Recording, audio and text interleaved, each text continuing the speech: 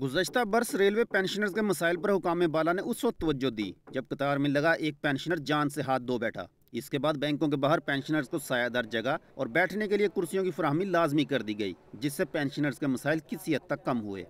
کافی سہولتیں دی ہیں لیکن ابھی مزید اس میں گنجائش ہے سایہ نہیں ہے اور باقی چیزیں پہلے سے بہت بہتر ہے اسٹاف کی کمی ہے اور عوام بہت زیادہ ہے۔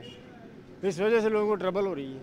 پینشنرز کو مزید آسانی فراہم کرنے کے لیے اسٹیٹ بینک آف پاکستان نے بھی احکامات جاری کر دیے کہ یکم جنوری دو ہزار بارہ سے تمام کمرشل بینک پینشنرز کو پینشن فراہم کرنے کے پابند ہوں گے لیکن تین ماہ گزرنے کے باوجود آج بھی نیشنل بینک ہی پینشنرز کا بوجھ اٹھائے ہوئے ہے۔